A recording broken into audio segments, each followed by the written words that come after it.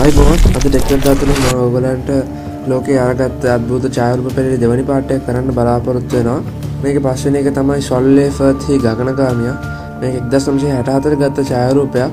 එක්ද සම්සේ හැටහතරෙදි gym Templeton කියනෙක් කෙන එයාගේ බිරිඳයි දුවත් එක්ක යනවා බර්ග් නැමති තැන තලාවට ඉති මේ තනි තලාවේ ජිම් ඇගේ දුවගේ ෆොටෝස් වගේයක් ගන්න ෆොටෝස් වගේයක් කාරන් එක ඩෙවලප් කරලා ඉට පස්සේ ෆොටෝස් බලද්දි එයාට පේනවා එයාගේ දුවයි දුවට පිටිපස්සේ ගගනගාමික ස්වරූපයෙන් එක්කෙනෙක් ඉන්නවා. ඉතින් මේ ගගනගාමය ගැන එයා හිතුවේ මේක ෆොටෝ එක වැරද්දක් කියලා.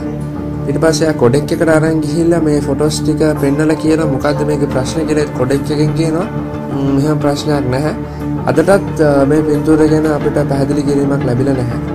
ඊළඟ එක තමයි ගොඩාක්ගේ බට කණ්ඩායම මේ ඡායාරූපය අරන් තියෙන 1915 1975 තමයි පබ්ලිෂ් කරලා තියෙන්නේ. මේ බට කණ්ඩායම පළවෙනි ලෝක යුද්ධයේ සටන් කරපු බට කණ්ඩායමක් ඒ වගේ මේ පින්තූරේ අරන් තියෙන්නේ HMS Daedalus නැමැති පුහුණුවින් මධ්‍යස්ථානයේදී මේ ෆොටෝ එක අපි zoom කරලා බලද්දී අපිට පිටිපස්සේ පේනවා අద్భుත රූපයක් ඉන්නවා. ඒ කියන්නේ එවනල්ලක් වගේ රූපයක් ඉන්නවා.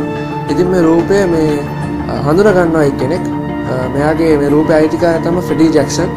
එයා දවස් දෙකකට කලින් මිය යනවලු ගුවන් යාන අවර පෙත්තකින්. ඒ කියන්නේ ගුවන් යානේ ප්‍රොපෙලර් එකෙන් එයාගේ භූමිදාන කටයුතු සිදු වෙලා තියෙන්නේ මේ ෆොටෝ එක ගන්න දවසේ කියලා කියලා තියෙනවා. තුන්වෙනි එක තමයි කොංගෝහි විශාල නාගයා.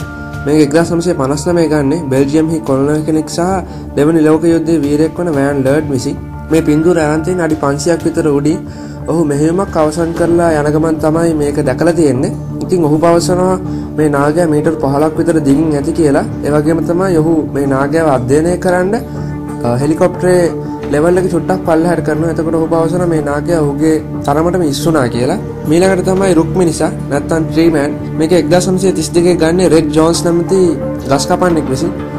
මෙයා එයාගේ ජොබ් එකට අලුතෙන් යන්නේ. ඉතින් මෙයාගේ අනිත් යාළුවෝ පවසනවා. මෙහෙම අద్భుත සිදුවීමක් තියෙනවා කියලා. ඒ අවට තියෙන දියැල්ලකින් අමුතු ශබ්ද නැගෙනවා කියලා මොහුගේ යාළුවෝ මොහුට පවසනවා. ඉතින් මේ ශබ්ද එතනින් එන්නත් හේතුවක් තිබුණා කියලා මොහුටත් හිතුණා. මොකද එතන කලින් මිනිහෙක් වැඩිලා මරණයට පත් වෙලා තියෙනවා කියලාත් වාර්තා වෙලා තියෙන හින්දා. ඉතින් රෙඩ් ජෝන්ස් එතනට යනවා මේ පින්තූරයක් ගන්න. ඔහුගේ යාළුවෝ දෙන්නෙක් පින්තූරයක් ඔහු ගන්නවා. අරන් මේ පින්තූරේ දැන් අපිට පේනවා මේ පින්තූරේ දකුණු පැත්තේ ඔයගොල්ලෝ බලද්දී ඔයගොල්ලන්ට පේනවා විශාල මිනිහෙක් වගේ ස්වරූපයක් තියෙනවා කියලා. රෙඩ් ජෝන්ස්ම හොල්මන් ගැන විශ්වාස කරන්නේ නැති එක්කෙනෙක්ලු. ඉතින් ඔහුම විමතියට පත් වෙලා තියෙනවා මේ පින්තූරේ දැක්කට පස්සේ. අපේ ලිස්ට් එක අවසානයේ තියෙන හැම්ප්ටන් රජමාලිගාවේ අමුත්තා. මේක 2003 වෙන්නේ ඉති මේ හැම්ටන් රජමාලිකා කියන දාශයවන සියාසය නිර්මාණය වන රජමාලිගාවක්. මේක ලන්ඩන් හි තියෙන්නේ මේක තියෙන ගිනි කවුලු වල අලාම් එක. එකන ගිනි කවුලු විල්තු වෙද්දී අලාමයක් පත්තු වෙනවා. ඉති මේ ඔලාම් එකේ සද්දේ දවස් කීපයක් තිස්සේ මෙහ ඉන්න මුරකාරයන්ට ඇහිලා තියෙනවා. ඉති මේ මුරකාරෝ ඒක බලන්ඩ ඇද්දී ඒක ගිනිකවුල ඇරලා තිබෙන ගිනිකවුල වැහිලා තිබේ මේකරට මේක ලොකු ප්‍රශ්නයක් කලා මේකුළු CCTV කැමරාවලින් තියෙන වීඩියෝ දර්ශනාරම් බලන්ඩ ගත්තා. ඉතින් මේ CCTV කැමරා දර්ශනවල තියෙන්නේ මේ දොර එක පාට මැරෙන ඕගලන්ට දැන් පේනවාගේ දොර එක පාට මැරෙනවා. ඊට පස්සේ සුදු පාට දිග කෝට්ටයක් ඇඳගත්ත එක්කෙනෙක් වගේ මේ දොර වහනවා අපිට පේනවා. ඉතින් කලින් දර්ශනවලත් මෙහෙම දොර ඇරෙනවා පේනවා. ඒත් සුදු පාට කෝට්ටයක් ඇඳගත්ත එක්කෙනා එතන නැහැ. ඉතින් යාළුවනේ අද ඔයගොල්ලෝ අපෙන් දෙයක් ඉගෙන ගත්තා කියලා හිතනවා. වීඩියෝ එක බලපු හැමෝටම ගොඩක් ස්තුතියි.